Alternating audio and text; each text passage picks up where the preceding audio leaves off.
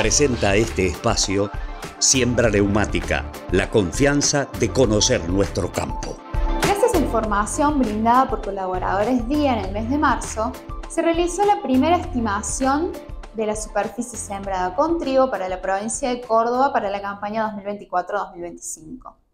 Se esperarían alrededor de 809.000 hectáreas destinadas al cultivo. Este número es el más bajo de la superficie sembrada con trigo en las últimas 11 campañas. Si lo comparamos con la campaña anterior, significa una disminución del 17% y se encuentra 236.000 hectáreas por debajo del promedio histórico provincial.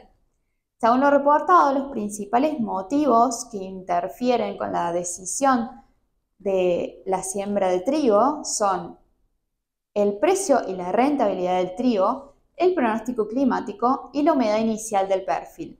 Si bien aún existen expectativas por las lluvias otoñales para tomar la decisión final de siembra, se pronostica la llegada de la niña. Según el IRI, que es el Instituto Internacional de Investigación para el Clima, para el trimestre de abril, mayo, junio habría un 85% de probabilidad de ocurrencia del fenómeno climático neutro, durante el cual, según el Servicio Meteorológico Nacional, se darían lluvias dentro de lo normal.